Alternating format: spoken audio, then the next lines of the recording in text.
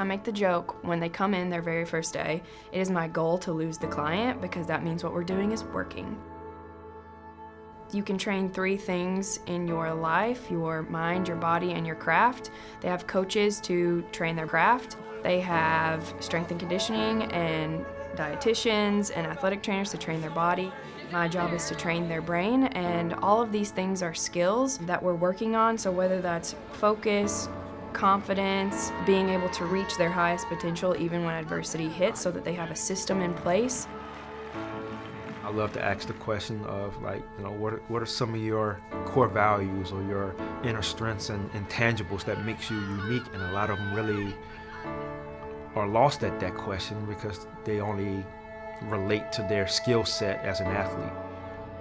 Helping them develop who they are outside of their sport, even outside of the classroom, helping them navigate all these really difficult areas of their lives to ultimately connect to their most genuine selves.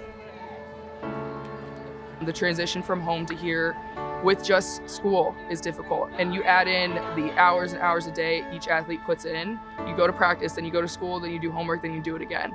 And so there never feels like a moment of relief. You can't just complain to your coach, and you don't want to be the complaining teammate. So you feel so alone that it's like you need that resource to go talk to you, even if you don't feel like you do.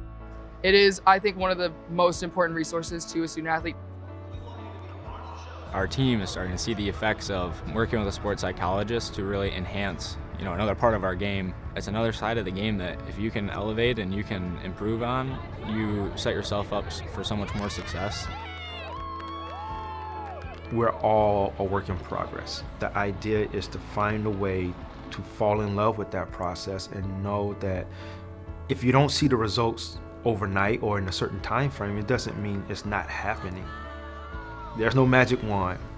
There's no magic pills. It's just you showing up for yourself and trusting that the work you're doing is going to bring about the results that you are, are seeking, just like sports.